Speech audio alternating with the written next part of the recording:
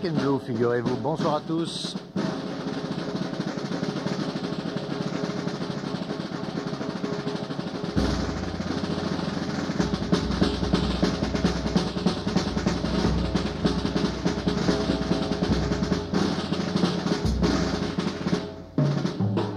Parce qu'un message peut se réduire à une formule simpliste qu'il n'implique pas une réflexion approfondie et de vertigineuses perspectives, voire une vision révolutionnaire ou en tout cas très peu conformiste du problème dont il traite. Exemple d'un tel message, Boum Boum et Ratatam ne sont pas les deux mamelles de la batterie de jazz. Cette sentence de cours d'école maternelle est en fait une provocation, et cette provocation résume, en la caricaturant à peine, une des hérésies les plus fécondes de la musicologie contemporaine. Preuve en est qu'elle a engendré il y a peu un livre déjà considéré comme une référence en la matière, le premier tome intitulé Des origines à l'air swing, d'une histoire de la batterie de jazz, ouvrage composé par Georges Stanislas Pagzinski, occupe aujourd'hui auprès de moi le rôle ambigu d'interlocuteur, ambigu parce que l'interlocuteur est à la fois celui qui met en question et qu'on met à la question.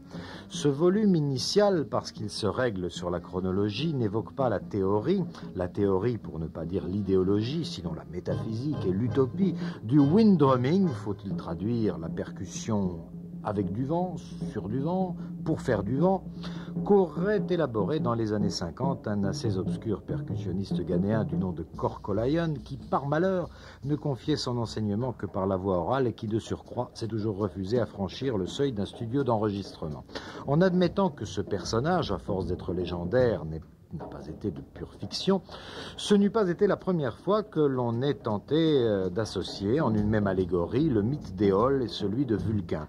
Parlant d'un confrère déifié de son vivant, ce qui ne l'a pas empêché de finir à l'extrême bord du caniveau, Don Lemon, lui-même lanceur de foudre et fabricant de bourrasques dans le prestigieux deuxième troupeau de Woody Herman, Don Lemon avait déclaré Joe Jones joue comme le vent. C'est assez suggéré que la batterie a vocation, pour se réaliser parfaitement, de s'abolir elle-même. Le paradoxe n'est pas ce qui fait le plus défaut à la jazzologie, mais on doit avouer que là on touche à l'une des limites du genre. Réduire l'essentiel de la percussion à une science de l'impalpable, n'est-ce pas pousser le bouchon un peu loin?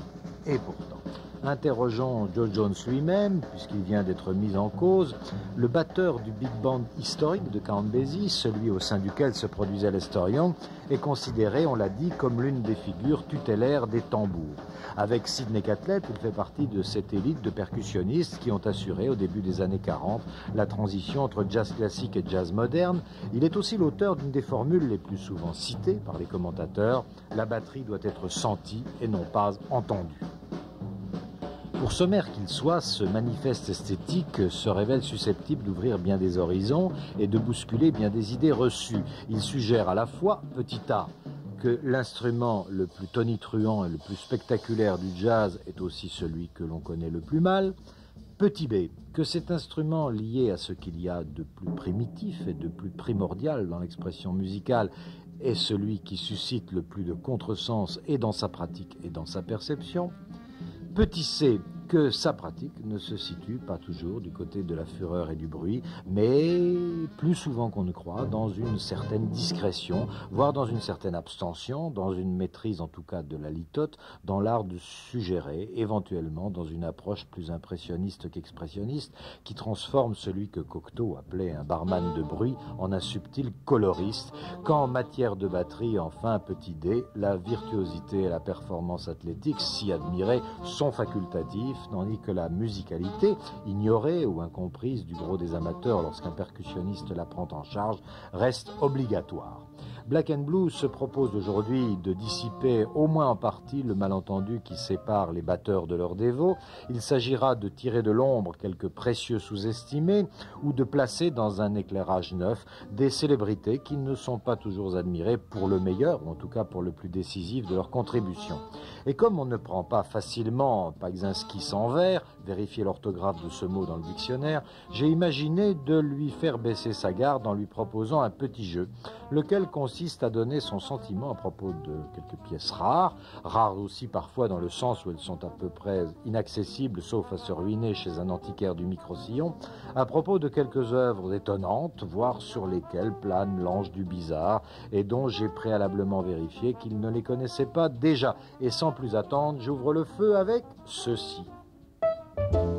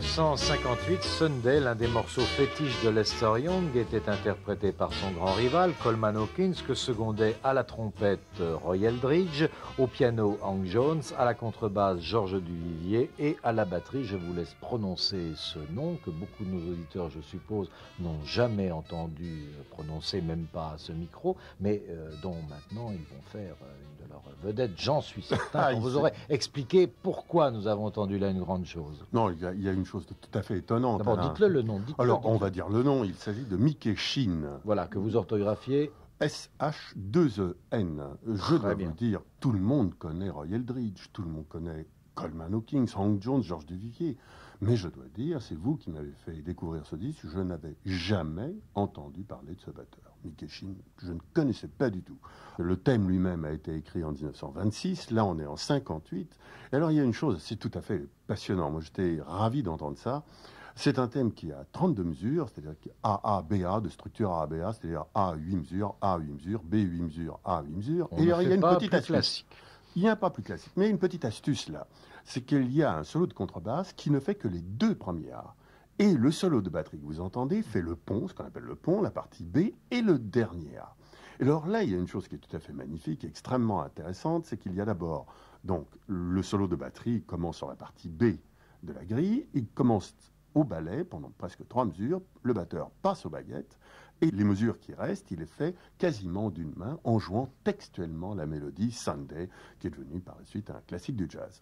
Et on entend donc d'une main jouer le thème textuellement en étouffant avec l'autre main la peau. et- Oui, il n'y avait pas de, de tome chromatique à l'époque qu'on aurait pu Mm. contrôler avec le pied. Pas hein. du Il faut tout. bien dire, c'est vraiment avec la main. C'est vraiment avec la main. Donc et le problème, euh, obtenir la bonne hauteur de son pour chaque note. Exactement, et en plus en ayant au préalable enlevé le timbre de la caisse claire pour que le- cela ne résonne pas. Et je dois dire que le thème est magnifiquement interprété, très clair, et euh, je dois dire que ça m'a rappelé quelque chose que nous allons d'ailleurs tout à l'heure peut-être entendre, parce que a- vous m'avez euh, proposé un autre batteur encore, et le fait de jouer comme ça d'une façon extrêmement claire euh, le thème, ça m'a fait penser à des batteurs qui ont fait ça beaucoup plus tard, ne serait-ce qu'en 76. Bon, l'exemple qui me vient à l'esprit maintenant, c'est Jeff Hamilton qui jouait ça avec Monty Alexander, un solo qui est complètement dans l'esprit de ce que nous entendons là en 58. Oui, ce que nous allons entendre là et dans un autre des exemples qui vont venir, c'est finalement des solos de batterie en single note. C'est une formule qu'on n'utilise jamais à propos de la batterie, on l'utilise à propos de la guitare, c'est-à-dire les gens qui jouent note par note des mélodies plutôt que de les interpréter par accord. Ouais. Et là, on a ça avec euh, un batteur, c'est-à-dire quelqu'un qui se refuse toute virtuosité au profit de la musicalité. Alors- Nous avons affaire ici à, d'une part, un musicien d'une haute musicalité, je le répète, mais aussi un musicien pour musicien. Oui, oui. Il était engagé par des gens comme Coleman Hawkins, par des gens comme Buck Clayton,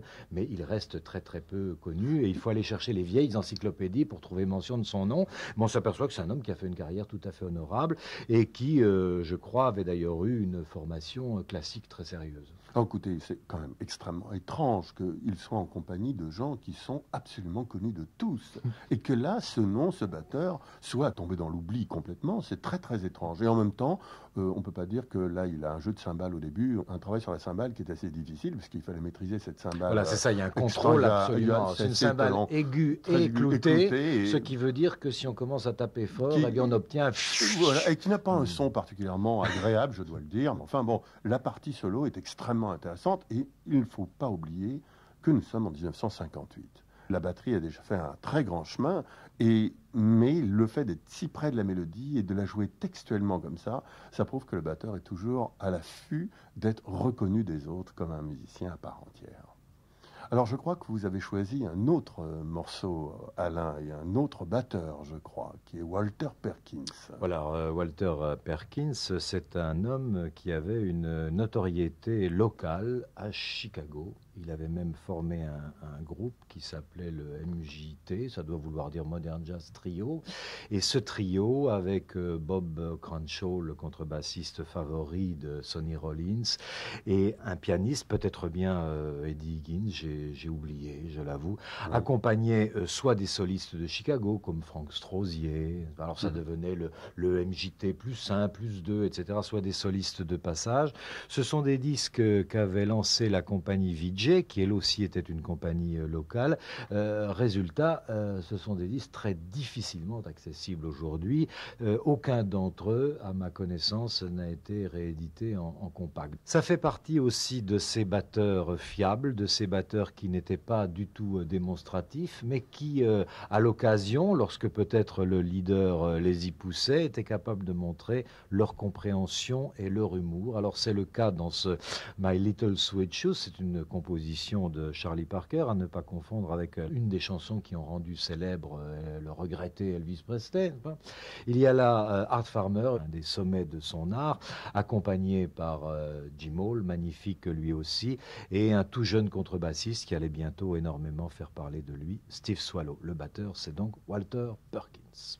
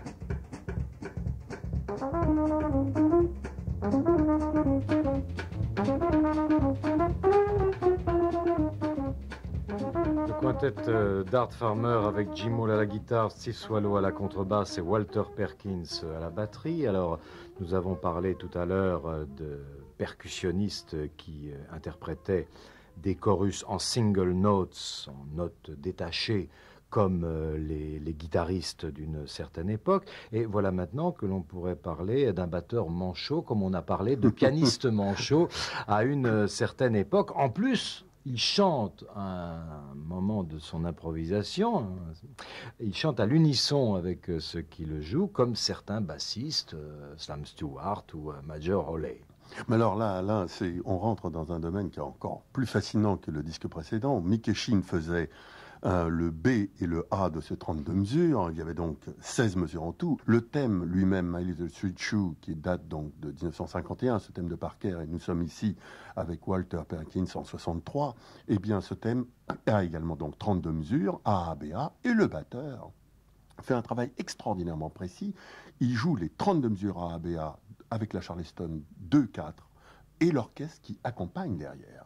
Donc il suit scrupuleusement la grille et il joue très près, très près. Donc d'une main, il joue très près la mélodie et de l'autre, à nouveau, comme Mickey tout à l'heure, il étouffe. Mais alors, pour passer au deuxième solo, il y a huit mesures incroyables où il place des coups, des couleurs, où la Charleston est complètement arrêtée.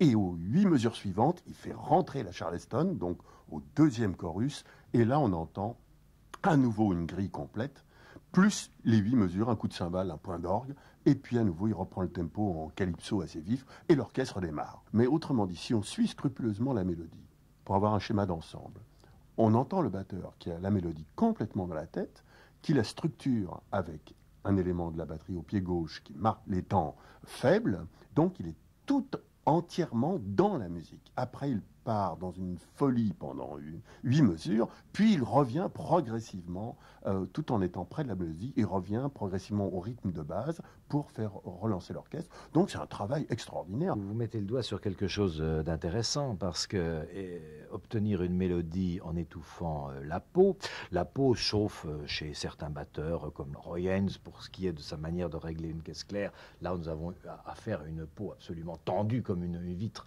mais généralement la peau, elle n'est pas très tendue, elle peut aller, euh, disons, euh, par rapport à l'horizontale, à, un centimètre en dessous, se relever. Bon, on, arrive à, faire jouer ça. Mais là, il fait du dégradé sur une cymbale, qui est une surface dure. Tout à fait juste. Mais alors, vous savez, ce qui est un petit peu fascinant, c'est que peut-être par ce biais-là apparaît un peu le très très vieux complexe du batteur le vieux complexe du batteur consiste à montrer et à prouver en quelque sorte aux autres musiciens qu'il ne fait pas des roulements comme ça n'importe où au hasard. Donc, en fait, lorsqu'il se rapproche de la mélodie, il se fait vraiment comprendre de ses interlocuteurs, qui sont les musiciens qui l'entourent. Et pour se bien se faire comprendre, rien de tel que de jouer vraiment la mélodie au même titre que les autres musiciens.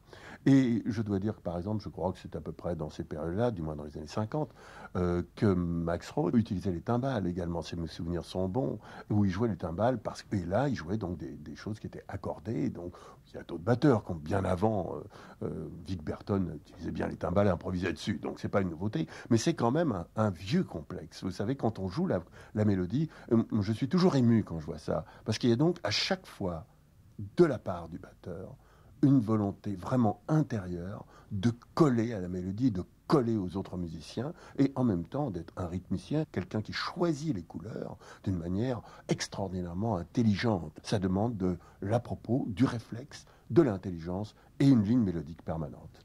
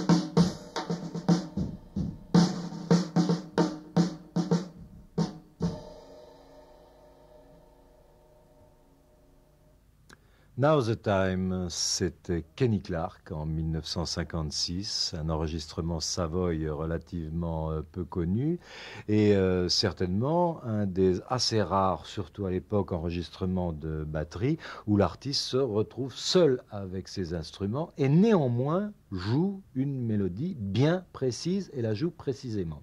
Alors là, nous arrivons crescendo parce que la Mickey euh, puis après Walter Perkins, et là on a le maître de la batterie Bob. Alors là, il y a vraiment un piège. Vous m'avez tendu un piège incroyable, Alain.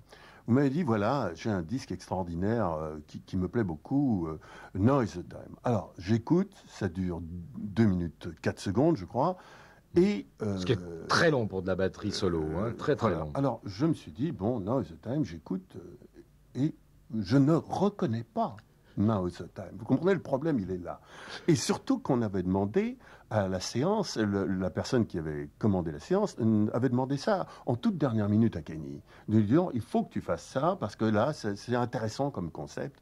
Et c'est pas répété devant la glace. Voilà, Mais en fait, Kenny avait depuis très longtemps l'habitude de faire ce genre de choses, vous pensez bien. Alors, en fait, c'était un piège parce que au milieu du morceau, à différents endroits, on entend parfaitement Now the Time. On, on le reconnaît parfaitement. Alors le problème, c'est de savoir où commence Now the Time quand on entend le morceau. Et en fait, j'ai trouvé que c'était tout bête. Il y avait quatre mesures d'introduction et qu'il fallait absolument repérer le triolet à la quatrième mesure sur le quatrième temps, vous voyez comme je suis mhm. précis, lorsque l'on entend ce triolet, juste au temps suivant, le premier temps de, donc de la cinquième mesure, là on entend le début du thème. Donc vous allez nous donner une idée, allez-y, parce que tout le monde le connaît, mais tout donc le monde ne sait pas forcément. Alors, voilà. voilà. Et alors, en fait, j'ai relevé les deux premiers chorus et le fin du fin. J'ai entendu que les deux dernières mesures du premier chorus de Kenny est répétées à la fin du deuxième chorus, les deux dernières mesures de la même manière, et ces deux mesures identiques, on les retrouve complètement à la fin du solo. Et c'est-à-dire qu'en fait, on entend clairement Now is the time tout le temps, et il déplace donc l'intérêt, il embellit la mélodie, une phrase, et surtout ce dialogue caisse claire, grosse caisse, parce qu'il ne faut pas oublier qu'il a une caisse claire, une grosse caisse d'assez gros diamètre, une cymbale horizontale, vous me l'aviez fait remarquer. Comme dans les années 30. Comme dans les années 30. une superbe photo voilà, qui, est magnifique. Et une Charleston. Et en fait, il, joue en fait... Aucun tome. Hein, aucun tome, et il ne joue que caisse claire, grosse caisse. Et c'est fascinant parce que non seulement le choix des couleurs est extraordinaire, ce qui est fascinant, c'est le phrasé. Ce qui est encore plus fascinant, c'est le son. Oui, la profondeur, du, son profondeur du son, ce qui est extraordinaire. Et ce qui est encore plus fascinant, c'est qu'il annonce tous les grands solos de Max Roach qui viendront par la suite, euh, Conversation, le, Drums Unlimited, etc. Tous ces grands For, euh, enfin tous ces grands classiques. voilà, Also Waltzes, voilà, tous ces grands classiques. Et eh bien en fait, Kenny avait déjà préparé largement le terrain. Et lui-même, il n'est arrivé là où il en est que grâce certainement à des gens comme Joe Jones, Sidney Catlett et d'autres euh, batteurs. Mais là, ce qui est merveilleux, c'est qu'on voit ces douze mesures qui sont très clairement répétées, mais je dois le dire encore, pour quelqu'un qui ne connaît pas, qui ne connaît pas le thème, ou, et qui ne connaît pas vraiment un tout petit peu la batterie, et je pense qu'il sera très ennuyé d'entendre qu'on ne peut pas avoir, on ne peut pas comprendre le discours si on n'a pas la clé. Autrement dit, si on n'a pas un peu comme une encre sympathique. À ce moment-là, tout s'éclaire et l'intérêt de ça, permettez-moi juste un dernier mot là, l'intérêt de ça, c'est en même temps que le solo de Kenny Clark, il faut chanter le thème à voix haute. Et à ce moment-là, l'improvisation de Kenny apparaît comme une encre sympathique qui se développe tout de suite, qui apparaît d'une façon absolument claire grâce au produit chimique qui, fait apparaître l'écriture. Et tout ça par quelqu'un qui, de son propre aveu, euh, ne maîtrisait pas à l'époque le roulement classique euh, à deux coups de chaque main, mais le roulement à un coup de chaque main lui est maîtrisé parfaitement. Oui, vous savez comme moi qu'il avait donc cet éminent Sténard, ce travail au niveau du pouce, il a des, mains magnifiques, ce muscle au niveau du pouce qui est extraordinaire. Il avait une pince d'ailleurs de main gauche avec un travail du pouce qui est incroyable incroyable, absolument incroyable. magnifique. Un, contrôle du poids de ah, chaque coup. Hein, magnifique, magnifique, magnifique. Il a su se construire une musculature et surtout un mental. Parce qu'il y, a vraiment la conjugaison des deux. Là. Voyez, c'est ça qui est merveilleux, c'est ça que j'admire tellement chez les musiciens. C'est la conjugaison des deux éléments, n'est-ce pas? Le mental et le physique. C'est-à-dire, on travaille son corps pour forger quelque chose qui va être au service d'une idée musicale. Oui, ça n'est jamais, en plus, ça n'est jamais techniquement intimidant. Je- Sur de, de, de- comment, de Dennis Chambers, par exemple, ça n'a absolument aucun rapport, n'est-ce pas, si les jeunes entendent ça. Alors, un petit jeu maintenant où il n'y a strictement rien à gagner. Je demande à nos auditeurs d'écouter avec attention la pièce qui va suivre. Vont la reconnaître, c'est Four Brothers.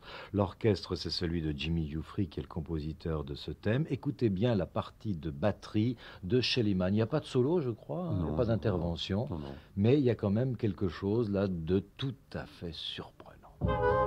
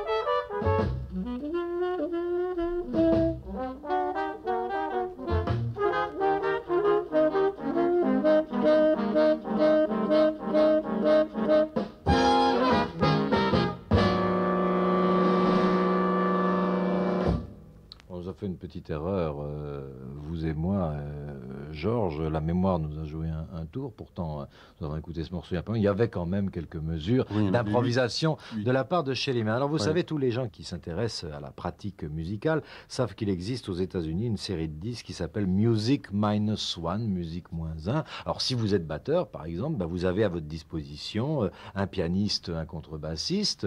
Euh, le, le batteur qui était là vous a cédé son siège et c'est vous qui jouez. Et là, euh, nous avons offert aussi à Music Minus One de la part de Shelly Man, mais c'est pas Minus One Man, c'est Minus One Arm. Musique sans un seul bras. Alors expliquez-nous ça. C'est ça qu'il fallait essayer d'entendre. hein, Oui, oui, oui. Simplement sur les huit mesures qui nous sont passées à côté, euh, ces huit mesures en solo sont incroyables sur un autre plan, c'est que c'est une batterie piège vraiment. C'est-à-dire qu'on repère, il y a huit mesures qui sont faites avec un agencement et des sonorités, et en fait d'entendre le premier temps de chaque mesure est extrêmement difficile. Je pense que lorsque nous abordons Shellyman, euh, puisque c'est de Shellyman dont il s'agit, et nous sommes en 1954, il y a vraiment une chose qu'il faut, disons, cadrer le personnage. Et si vous le permettez, juste un petit mot là-dessus, c'est que c'est un homme de compassion, d'humilité, de partage, qui aimait apporter de l'aide à ceux qui en avaient besoin et veiller à la transmission des grandes traditions du jazz. on a l'habitude de dire qu'il était gentil, c'est un peu plus que ça. C'est plus que ça, voilà. Gentil, ça peut être très condescendant. voilà, non, non, c'était un homme qui avait un grand sens de l'humour. Il savait dédramatiser des situations difficiles à vivre, et il était aussi très lucide sur l'authenticité de l'artiste vis-à-vis de son instrument. Il avait euh, fait sienne une pensée pénétrante du violoniste Isaac Stern, qui disait il y a de nombreux bons instrumentistes, mais certains utilisent la musique pour mettre en valeur leur instrument et d'autres qui utilisent leur instrument pour faire de la musique. Ce sont ces derniers qui m'intéressent. Et là, on a donc un personnage qui est devant nous et qui englobe énormément de données, puisque c'est un batteur de petite formation, c'est un batteur de grande formation, c'est un batteur de sextet, c'est un homme qui a tout un fait. Batteur de studio, un batteur de studio. Il y a énormément de bandes de feuilletons, de feuilletons. on entend des roulements, des... c'est chez Liman. Ça n'est pas signé, mais on sait que c'est lui. Et on le reconnaît mm. immédiatement. Alors je pense que vous pourriez dire, Alain, sur ce que vous évoquiez tout à l'heure. Oui, d'abord, une seule chose, euh, nos auditeurs ont certainement remarqué, notamment pendant le solo qui est très réussi mélodiquement, surtout de Giuffry, euh, à quel point Schellemann est avec lui. Hein, une façon de, de, de qui prolonge chaque phrase avec une intelligence, un humour aussi, vous le soulignez, qui est remarquable. Et puis, ce qu'il fallait découvrir dans ce disque, car ça ne saute pas forcément à l'oreille à la première audition, c'est que, sauf dans les exposé du thème, à aucun moment Schellemann ne joue le fameux Shabada. C'est comme s'il avait décidé euh, de laisser euh, sa main droite derrière son dos, euh, ce qui rend extrêmement difficile la possibilité de soutenir l'orchestre parce qu'on sait qu'il y a deux choses que le contrebassiste écoute chez le batteur, le, le, pied droit, mais à l'époque le pied droit avait peut-être moins de permanence et en tout cas moins de présence que dans les décennies antérieures, et puis ce fameux Shabada. À vrai dire, le bassiste n'écoute pas Shabada, il écoute Shaeda surtout, hein. c'est-à-dire les coups qui se placent exactement sur le temps, parce que lui-même va pouvoir se repérer par rapport à ça. Ah. Et là, il n'y en a pas, et personne ne semble être mal à l'aise, et Schelliman non plus, parce que pour le batteur aussi, c'est vous qui allez nous expliquer ça. À partir du moment où il n'y a pas cette continuité, il devient extrêmement difficile de ne pas briser la pulsation, puisqu'on n'a plus que les figures de brisure, et non pas les figures de continuité. Exactement. Or, il faut quand même resituer ça dans un certain contexte. Il faut savoir que, par exemple, Tiny Khan, et vous, je sais que vous êtes un très grand fanatique, de, ce batteur qui a joué avec Stan Getz, euh, qui est mort prématurément, d'ailleurs, relativement un grand arrangeur aussi. Un, grand, arrangeur, a été un des premiers à jouer ce shabada un peu libre, mais sur une façon libre de jouer la cymbale. Mais ce que euh, peut-être les batteurs ignorent, c'est qu'en fait, ce shabada libre se jouait en fait sur des woodblocks d'une façon complètement libre, déjà par Baby Dodds, depuis bien longtemps auparavant. Et je me souviens euh, avoir fait un, léger gag à mes étudiants en leur ayant passé une petite bande sans leur dire uniquement le rythme, en leur montrant le rythme écrit sans écouter de musique du tout, uniquement du rythme. Et je leur ai demandé, à votre avis, euh, de qui s'agit-il? Et le rythme était brisé, c'était joué uniquement sur le woodblock. Je m'étais d'ailleurs fait très attention de ne pas préciser que c'était sur un woodblock, c'était uniquement un rythme joué par un batteur. Il y en a qui m'a dit, ça c'est typique de Tony Williams, ça c'est Jack DeJohnette. Et en fait, ai dit, c'est un morceau, une partie de woodblock de Baby Dots. Je leur fais écouter Baby Dots, c'était stupéfait. Et en fait, ces variations que l'on entend chez Schliemann, pour revenir à Four Brothers, eh bien, euh, elles viennent de loin, seulement le problème c'est qu'il les fait sur la cymbale pas du tout sur un woodblock. Donc en fait, sur le plan de la sonorité, euh, c'est pas du tout évident pour les autres musiciens d'entendre vraiment ce qui se passe. Quoi. Et ils s'en tirent merveilleusement bien. Mais je crois que vous avez préparé aussi, euh, Alain, vous m'avez proposé un autre morceau qui est alors là tout à fait extraordinaire. Oui, ça tendrait d'ailleurs euh, à prouver que Schelliman est un homme d'invention, parce qu'il se pose un petit problème à propos du Four Brothers. Est-ce lui ou est-ce l'arrangeur euh, Jimmy Giuffry qui a eu cette idée de ne pas jouer le Shabada On ne le, saura jamais. Non, on le saura jamais. Il enfin, si, on peut le savoir. Il suffirait de demander à Jimmy Giuffry, qui, euh, Dieu merci, est toujours parmi nous, ce qui n'est pas le cas de la plupart des autres musiciens qui assistent à la séance. Encore que, encore que, nous allons voir ça. J'ai la pochette devant moi. Non, Butchank parmi nous, Jack Sheldon toujours, Shorty Rogers est mort, Bob Enevolsen et Ralph Peña, j'avoue que je ne sais pas. Donc il y a quand même beaucoup de gens qu'on pourra interroger là-dessus. je voulais vous faire entendre simplement un break que nous allons isoler de Schelliman. On va entendre d'abord euh, la contrebasse de Curtis Scans avec des petites figures que fait Schelliman pour le soutenir. Et puis ce fameux break qui a fait couler beaucoup d'encre parce que personne n'avait jamais entendu ça et tout le monde, par-dessus le marché, s'interrogeait pour savoir ce qui se passait. Aujourd'hui, on le sait très précisément.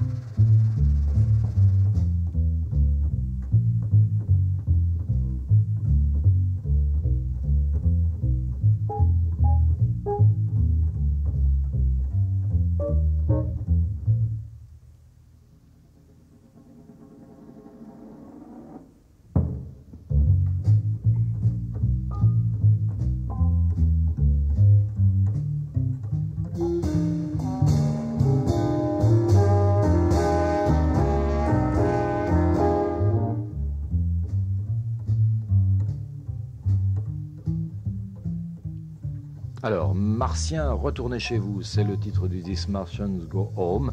Shorty Rogers et ses Giants, nous sommes en 1955, on retrouve euh, Jimmy Geoffrey et on retrouve euh, Shellyman, donc. Alors, euh, il faut dire à nos auditeurs qu'en fait, ils se demandent bien, on entend quelque chose et à un moment, on n'entend rien du tout, justement. Et euh, on entend. Précision, il s'agit du, break, du hein, parce break qu'il y a d'abord des, des- euh, roulements qui peuvent sembler bizarres. et Ils ont été faits avec euh, le, le- avec le les doigts, oh, certainement Enfin, pas avec des baguettes. Certainement pas. Le, le dernier, on ne sait pas trop. D'abord, c'est les doigts. Le dernier, ça pourrait être des, très- des maillotches. ou On ne sait bon. pas trop ce qui se passe. Et puis on arrive très précisément au segment que nous souhaitions vous faire déguster. Alors, Alors, expliquez-nous euh, ce qui se passe. Alors en fait, le fin du fin, c'est qu'en fait, Shellyman a pris un, un demi-dollar et il le lance en quelque sorte, fait tourner sur le tom bass en faisant rebondir ce demi-dollar sur le tom bass et en maîtrisant en quelque sorte la vitesse dont ce dollar va complètement, en, se rapprochant de la peau, va s'accélérer. Or, en fait, le fin du fin, c'est d'arriver à le commencer à un certain endroit et à finir à un certain endroit. Parce que, bien entendu, bon, c'est un tour de passe-passe, quoi. Alors, ce fameux break fait donc quatre mesures, quatre mesures de solo. La première mesure, c'est une pause. On n'entend rien du tout. Et il lance la pièce sur le deuxième temps de la deuxième mesure. On l'entend à peine. Et ça se prolonge. Et là, la pièce s'accélère, bien sûr. La petite pièce rebondit de plus en plus vite. Mais le fin du fin, bien sûr, c'est que Shellyman a en lui le tempo initial du morceau et qu'il entend quelque chose qui accélère, mais qu'en lui, il a la pulsation fondamentale qui est toujours la même. Il termine cette accélération sur le premier temps de la quatrième mesure. Le fin du fin, c'est que sur la croche en l'air du deuxième temps, il donne un petit coup de grosse caisse. Et la contrebasse entre avec la croche en l'air sur le quatrième temps de cette quatrième mesure et sur le premier temps de la mesure suivante. Autrement dit, il a merveilleusement orchestré son affaire. Je ne sais pas euh, s'il il aurait été peut-être incapable de recommencer la chose une deuxième fois. Ça, on peut se poser la question. C'est parfois un des miracles de la chose. Ah, de, en deux, tout cas, de deux choses une, où effectivement il n'aurait pas pu la recommencer, ou au contraire ce disque n'existe que parce qu'il y avait déjà eu 25 essais auparavant. hein, c'est ne une chose possible. Mais vous savez, c'est quand même bon. Il faut quand même bien dire que les gens vont se dire mais quel intérêt? Est-ce que c'est anecdotique? Ça n'a aucun intérêt. C'est dans une certaine mesure vrai. Mais ce qui est merveilleux, c'est l'utilisation du métal et de l'utilisation de l'espace. Parce que là, ce qui est merveilleux, et ce qui me frappe, c'est pas qu'il ait lancé un dollar sur, un tom bass. ça n'a- Je veux dire, c'est- une gaminerie, j'allais dire, vous comprenez Donc, ce qui me fascine, moi, beaucoup, et ce qui me bouleverse, en quelque sorte, c'est la décontraction extraordinaire dans laquelle les choses sont faites. Tout dans ce disque fait qu'il y a une sorte de devant le gouffre, quel silence, il y a une manière d'utiliser ce gouffre et d'être détendu devant le gouffre. Moi, je vois, bon, actuellement, je travaillais avec euh, Philippe Massé et Ricardo Delfra, et on avait des morceaux, justement, où il y a, où on a un temps et on a des respirations, et il faut placer les coups, et là, on est là, on se demande si, on se demande pas, il faut être ensemble. Donc, on a cette pulsation intérieure, et on arrive là. Et c'est un problème. Ce n'est pas comme ça, ça se fait pas comme ça. Ça a l'air extrêmement simple. Mais intérieurement, il faut maîtriser, j'allais dire, euh, son angoisse, tout simplement. Et c'est une question d'habitude. Alors, mais ce qui est intéressant là, dans ce break euh, de Shellyman, ce n'est pas que ça soit un gimmick, c'en est un. C'est que, étant un gimmick, ça reste parfaitement adapté à l'esprit du morceau, qui lui est un morceau précis comme de la musique de la Renaissance. J'allais y venir. Dans une interview dans Downbeat en 1955, j'attire votre attention sur la date. Voilà, chez L'année, donc, où a été euh, enregistré le morceau que nous venons d'entendre, Martians Go Home. Voilà. Voilà ce que dit chez Il dit J'ai toujours senti que la batterie avait en elle un potentiel mélodique. J'ai essayé de jouer mélodiquement depuis maintenant dix ans. C'est-à-dire que ça reporte à 1945. En janvier 85, dans Modern Drummer, le même Shellyman nous dit Je ne développe pas les mélodies à partir des rythmes, je développe les rythmes en pensant des mélodies ce qui est complètement différent. Mmh. Donc, en fait, il y a une sorte de renversement des valeurs. Aujourd'hui, c'est-à-dire qu'il ne démarre pas son travail à partir des rudiments, c'est-à-dire à partir des figures du tambour militaire. Il ne pense pas, tiens, je vais agencer un rat 3 avec un rat 5, un paradidol avec ceci. Non, il pense une mélodie, les doigtés viennent probablement après, exactement comme le disait Max Roach, en fonction d'un impératif absolu, qui est la mélodie. Donc le corps, les doigtés, tout ça doit être au service de quelque chose de fondamental, c'est de toucher les gens qui sont en face de vous. Si on ne touche pas ces gens-là, ça n'a pas d'intérêt. Et là, dans le morceau que nous venons d'entendre, il y a une sorte d'extraordinaire espace. Il y a quelque chose qui les prend. Oh, on est là, on n'en peut plus. Quand on a vu euh, sur partition des interventions de Shelley Mann et des interventions de Max Roth, il y a une chose qui frappe c'est que les fameux rudiments, les fameux 36 rudiments, enfin, il y en a plus ou moins. Il y en a 26, on dit 26 en général. Bon, allez, c'est 26. Bah, allons-y pour 26. Bon, allons-y pour 26, mais on peut même les doubler. Certainement. absolument aucun problème. Lorsqu'on les connaît, euh, on s'aperçoit que Max Roach, malgré tout, les intègre plus volontiers que chez... On les identifie tels qu'ils sont plus facilement chez Max Roach. Alors, que l'homme qui les connaissait le mieux, c'était Shellyman, qui était un vrai euh, batteur euh, de studio, capable de tout faire, de tout interpréter. Et ça, c'est intéressant. Que l'homme qui finalement euh, les maîtrise le mieux soit aussi celui qui arrive à s'en abstraire le plus aisément. Mais bien entendu, parce que les rudiments, les rudiments, comme on dit, c'est un dictionnaire.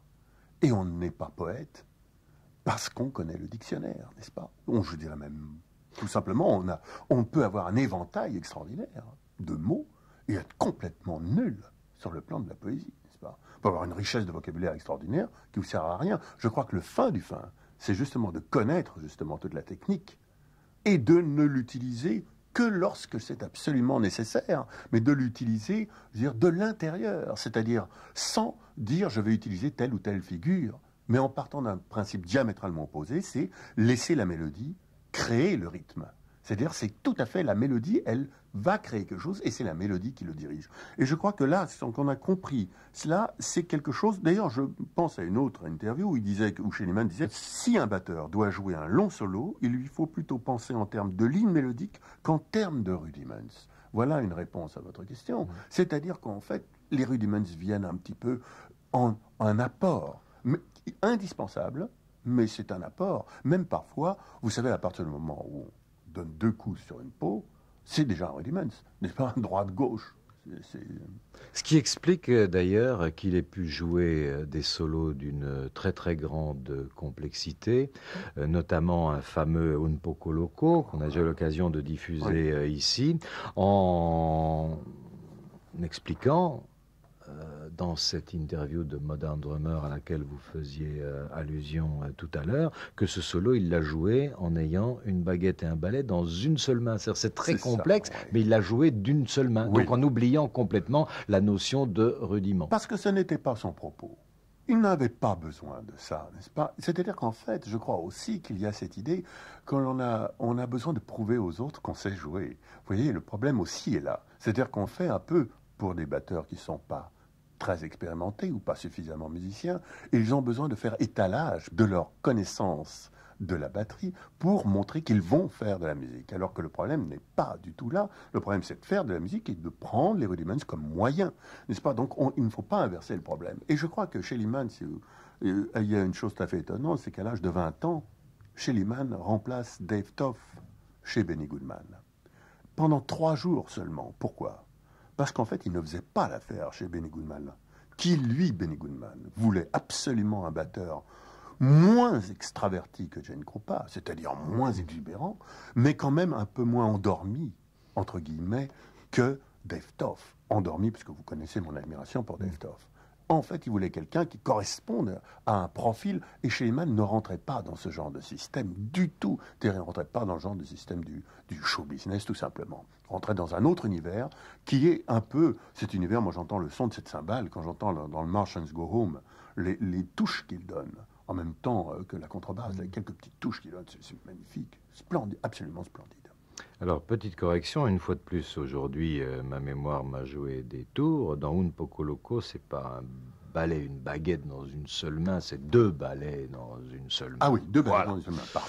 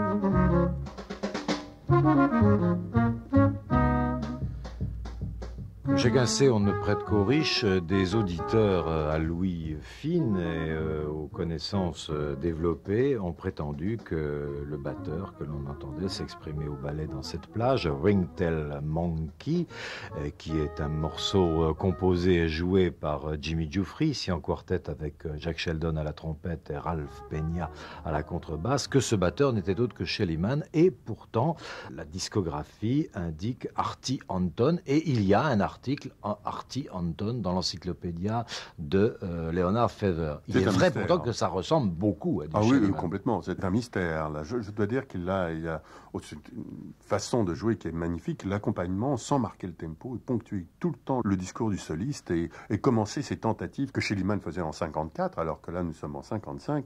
Schliemann faisait avec et Shorty Rogers dans le disque, je ne sais pas si vous voyez, The Free euh, sans contrebasse ni piano, qui est un des plus anciens exemples de jazz libre, free, abstract number one. Et puis Puisque contemporary avec des pingouins. Exactement. Il y a un duo piano-batterie, voilà. Et puis un duo piano-batterie avec Ross Freeman, s'appelle The Two. Et là, euh, évidemment, on, se rend compte qu'il y a une manière de ponctuer les discours, une manière de, placer des choses qui sont tout à fait inhabituelles. C'est aussi ça, c'est extrêmement intéressant, qui est la marque euh, d'une période et de tout un courant qui allait se développer par la suite. Mais simplement, euh, Alain, vous m'avez fait écouter Mickey Sheen, Walter Perkins, Artie Anton. Aucun de ces musiciens vraiment ne m'était connu.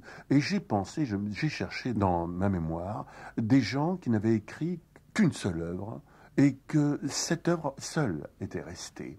Et je me suis dit que dans la littérature, évidemment, il y avait Alain Fournier, le grand môle, euh, il y avait Raymond Radiguet, le diable au corps, n'est-ce pas?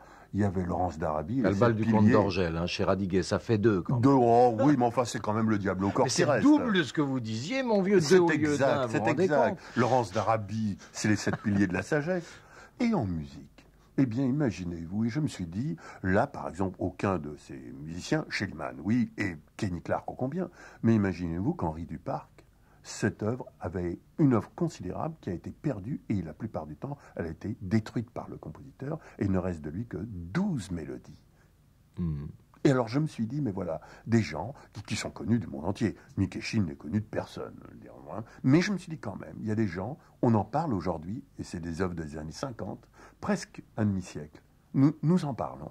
Il en est donc resté quelque chose. Et je veux dire que je suis ravi, parce que je me dis, il y a une sorte, disons, de reconnaissance d'un certain type de travail, souvent obscur, il faut bien le dire, et d'un type de travail qui à un autre moment reviendra plus tard, qui a quelque chose qui a été construit et établi à une certaine période de la vie. Tout lieu d'être optimiste, Tout donc, en cette fin de millénaire.